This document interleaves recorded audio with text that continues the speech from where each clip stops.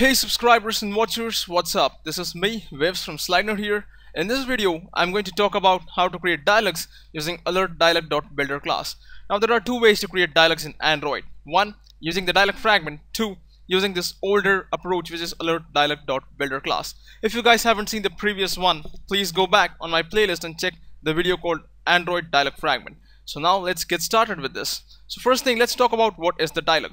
Here, if you guys notice, a dialog object is responsible for managing the internal state, like setting this title, maybe setting a custom view, handling the buttons over here like yes and no, and it's accessible inside the onCreateView and the onCreateDialog method. You can use the getDialog to access this object and set properties on that using the set methods like set title, set view kind of stuff. So now let's talk about this dialog in a little more detail. First of all, in your life cycle for the fragment, which is your dialog fragment. You have the onCreate that's being called. Then what you have is the onCreate dialog method that gets called. And ultimately what you have is your onCreate view. So inside this onCreate dialog, you can surely construct your own dialog. But if you do want your older, I mean the newer way of working with things using the dialog fragments, then you use the layout inflator inside the onCreate view method. So you have a choice to make. Either use the older APIs, make the dialog inside the onCreate dialog, or use the newer dialog fragment approach and make the layout inside your onCreate view method. So you guys in the comment boxes below, let me know which method you prefer over the others. And now let's talk about how uh, you can use dialog fragment like a normal fragment. But first of all, can you do that?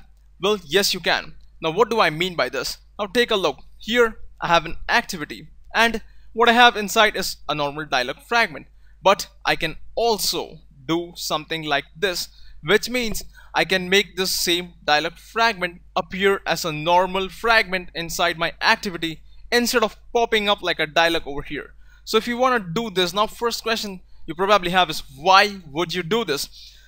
Well if you have a dialog fragment with a lot of content on a small screen like a mobile phone screen that content inside a dialog is not really gonna look that great. So probably on a tablet you can make it look like a dialog and on the mobile phone you can make it look like a fragment. And how can you do this? There are three things you need to remember. First use an on create view based layout.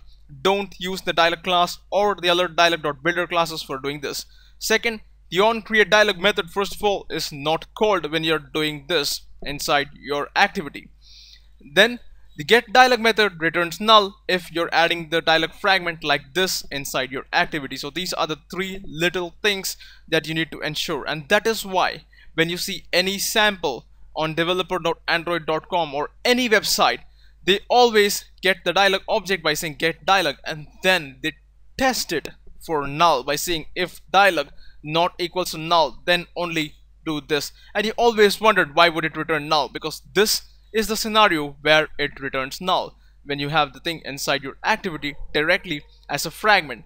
Well, it's just like adding any other normal fragment.